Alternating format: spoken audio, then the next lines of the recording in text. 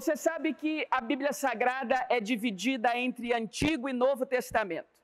Agora, talvez você não saiba qual é a última profecia registrada no último versículo do Antigo Testamento, lá no livro de Malaquias.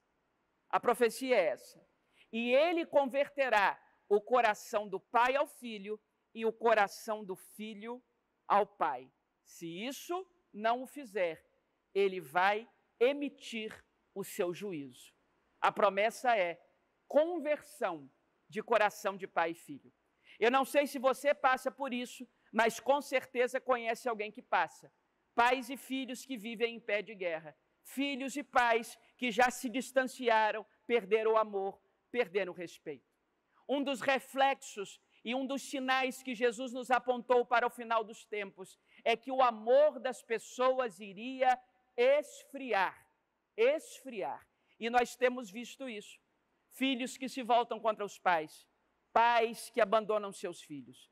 Mas há uma promessa santa, uma promessa solene, uma promessa da Escritura de que filhos teriam o seu coração convertido de seus pais e pais aos seus filhos. Eu creio nisso, eu oro por isso e eu peço que você se una nessa corrente de oração para que pais e filhos voltem a se amar, se é que se afastaram um dia.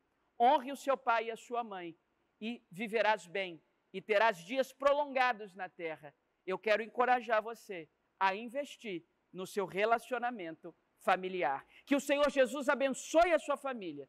Que o Senhor Jesus encha a sua casa de esperança. Que o Senhor Jesus conceda paz e alegria para você. No nome dele. Amém.